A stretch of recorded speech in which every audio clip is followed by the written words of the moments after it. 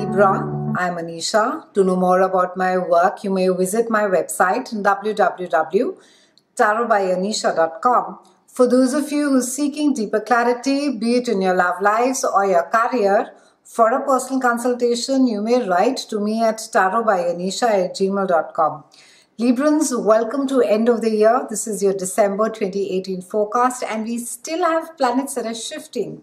Thankfully, Venus went direct, your ruling planet, and it's moving into your house of money. Unfortunately, we still have Mercury that is retrograde till just about a week, till about 7th.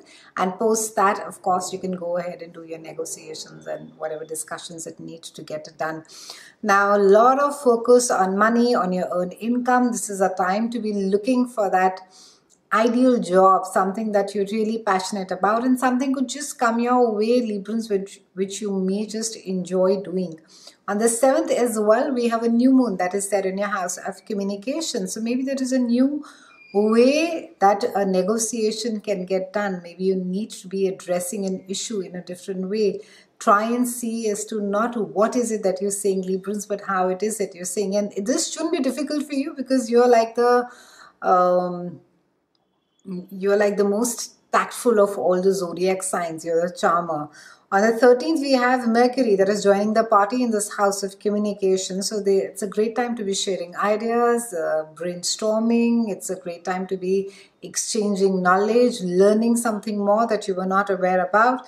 Now, Uranus, unfortunately, is moving back into your uh, house of relationships just for about a couple of months till about March before it rolls ahead again and moves into the house of joint finances for the next seven years.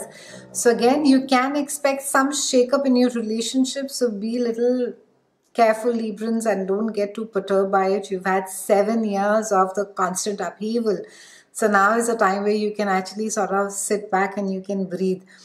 On the 22nd, we have a full moon that is there in your house of uh, career. This is the house of your reputation. So maybe a job or project is coming to an end. Something gets accepted. Maybe you finished writing that book. On the 22nd we have sun that is moving into your house of home. So some of you could be changing home and it's a time where you could be entertaining at home as well. Mars is there in your house of health and your uh, day-to-day -day activities so put a lot of energy in getting well, Librans. Take care of yourself, take care of your health, pay attention to what is it that you're eating and pamper yourself. It's been a pleasure speaking with you, Librans. I'll see you again next year and thank you so much for watching.